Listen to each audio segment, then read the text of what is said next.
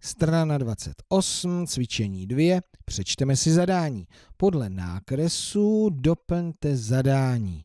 Aha, tak tady je to vlastně obrácení. Vždycky je zadání a potom podle toho děláme nákres neboli náčrtek a tady je už hotový náčrtek a z něho já mám vyčíst, co jsem vlastně měl dělat. Hm? Zajímavý. Takže narýsujte čtverec.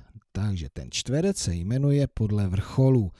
Tak začínáme vlevo do, dole, takže ten čtverec se jmenuje A, B, C, D. Pozor, tady čárky žádné nejsou, to by znamenalo úplně něco jiného.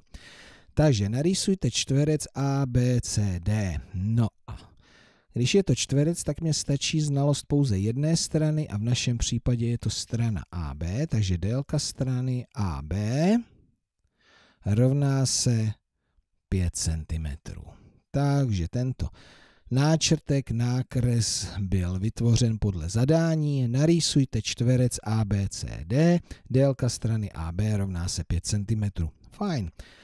Tak tady je to o obdelníku a ten se jmenuje, narýsujte obdelník U, V,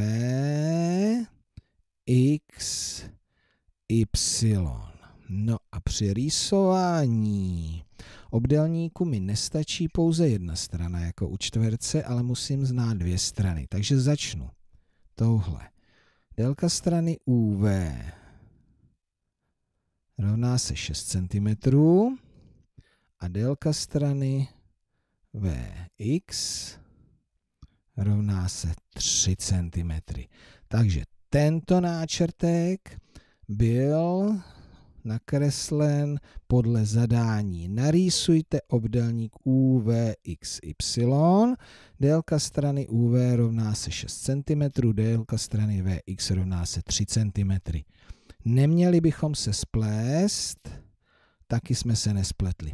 Tohle je opravdu zajímavá úloha, doplňovat zadání podle již hotového nákresu. To si můžete zkusit ještě víckrát.